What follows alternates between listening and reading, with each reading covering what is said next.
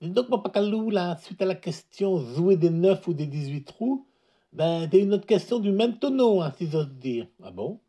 Oui, oui. Alors, pour améliorer son index, est-ce qu'il vaut mieux jouer de manière très très régulière, constante sur chaque trou du parcours, quitte à jouer plutôt moyen Ou alors jouer de manière plus agressive, quitte à briller, mais aussi à perdre des trous complets, sous forme de croix, tu veux dire?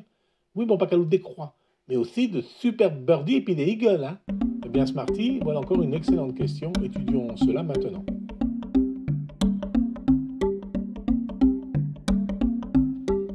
Alors on va commencer par rappeler ce qu'on a découvert dans la vidéo précédente ici. L'index d'un joueur ne reflète pas directement son niveau de jeu moyen, mais plutôt son niveau jeu moyen des bons jours, des 8 bons jours sur les 20 plus précisément. Alors si je comprends bien ta question, Smarty, est-ce qu'on peut forcer son jeu et du coup avoir de la chance 8 fois sur 20 et super performer 8 fois sur 20, quitte à sous-performer 12 fois sur 20, mais de toute façon ça améliore l'index puisqu'on garde 8 sur 20. Et alors du coup, j'ai eu envie de simuler ça un peu. Voilà une nouvelle feuille de calcul qui me permet de simuler quelques options de jeu. Alors l'idée ici, c'est de voir, selon l'index, l'impact de jouer toujours forcé, quitte à perdre des trous, versus jouer sans forcer. Et là, je sais que je serai personnellement plus régulier en jouant mon jeu moyen. Oui, c'est le mot, hein, ton jeu moyen, mon pacalou. Je me dispense de tes commentaires négatifs, euh, Smarty. Hein. Bon alors du coup, je vais simuler chaque trou selon différentes valeurs de forçage du coup. Je peux forcer à 50, 40%, euh, voire pas du tout, 0%. J'ai mis ça en ligne. Et puis après, je calcule le score final et j'exécute 20 parcours pour chaque pourcentage, de sorte à la fin à ne garder que les 8 meilleurs sur les 20. Et puis en colonne, j'ai paramétré les index et l'hypothèse que mieux on joue, eh bien plus on peut forcer favorablement. Alors par exemple, j'ai considéré que 80% des cas forcés, forcés raisonnablement à 100 ans, finissent toujours bien pour les index 0. Alors que pour un débutant, on n'a pas beaucoup de chances de surperformer 10% grand max. La plupart du temps, quand on force, euh, au contraire, on rate bien ses coups. Alors voilà le résultat final sur ce graphe que voici.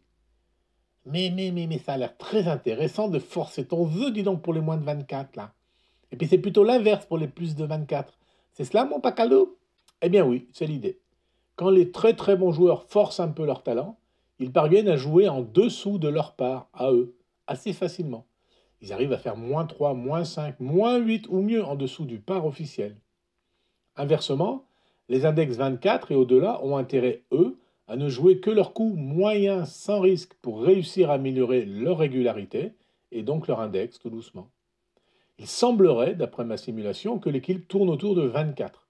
C'est-à-dire que dès qu'on atteint un index de 24, il peut commencer à être avantageux de prendre un peu plus de risques, peut-être d'abord sur les trous les plus faciles, j'imagine, puis au fur et à mesure que l'index baisse, bah, être un peu plus agressif. Alors bien sûr, ce n'est qu'une simulation. Mais en même temps, je trouve que c'est exactement ce qui m'est arrivé. Pas de risque jusqu'à descendre à l'index 24-25. Pour moi, le par, c'était le par plus 1 systématiquement sur tous les trous. Et donc, je cherchais jamais, par exemple, à faire les par 3 en 3.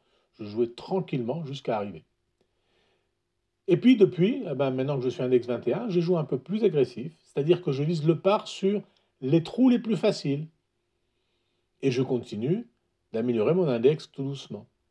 Sur certains trous, par exemple, il y a des par 4 de plus de 400 mètres à Montesco, ben, je suis incapable de les jouer en par, donc je joue en par plus 1. Alors il faudra certainement que je vise le par sur tous les trous, y compris ceux-là, un de ces jours. Ben, c'est pas demain tout de suite, mon pacalouin. Faudra t'entraîner d'abord. Ben, c'est vrai, Smarty, c'est vrai. Bon allez, c'est tout pour aujourd'hui. Rendez-vous dans une prochaine vignette. Oh, zéat mon pacalou, zéat